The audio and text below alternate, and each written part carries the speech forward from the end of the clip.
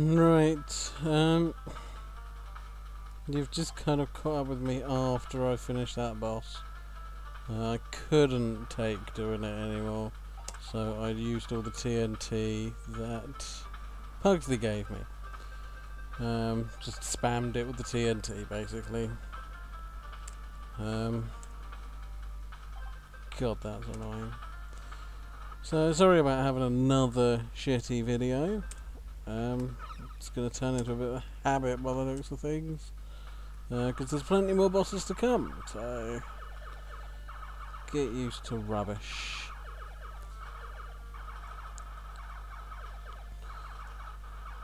I did get rather frustrated there. If any of you are offended by bad language or angry men, then I don't recommend keeping watching because this game is only going to get a lot worse. Um, I probably will do some let's plays of absolutely pathetic things. Even then, you know, I'll probably swear about something, go on a rant about something. It's got absolutely crazy. Look, it's just a, it, it's. I'm not taking that. I'm not accepting that hit. That's just unacceptable.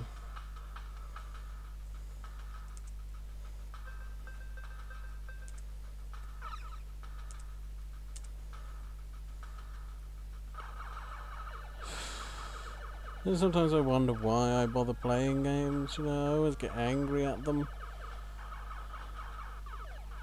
PlayStation games was always my bane. As soon as the PlayStation era came about, and everyone suddenly wanted to make the next big platformer when you had things like Crash Bandicoot and things like that coming out. And it was always about the well-timed jump. Well-timed jumps broke so many PS1 controllers in my house. Unbelievable. Tekken 2. Final few bosses, you know, you'd, you'd work for ages, you'd be really easy getting there, and then all of a sudden, you get battered.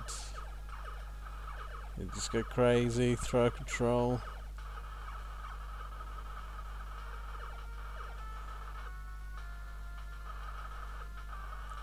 Anger's all part and parcel of video games, I think.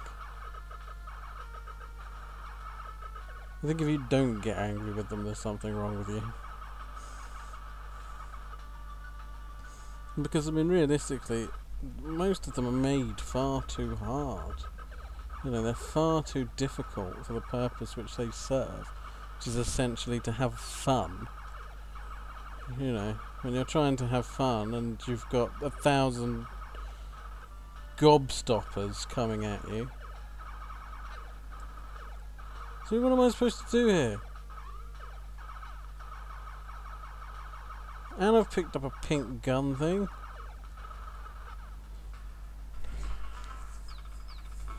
Right, that's it. That's it for this for now. That's it. I can't take any more. I really can't. This game was easy when I was like seven.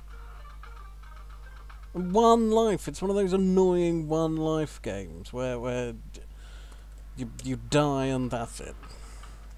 Oh, do I get to play again? No. Sorry. Nope. Nope. I mean, you can hit the continue, but I'm pretty certain you start off from the very beginning. In which case, you've got to get all the way back to where you were.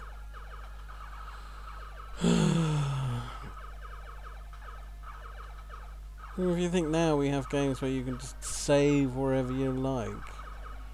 Fallout 3, I can save the exact moment before I want to try something or do something different, in case it goes wrong.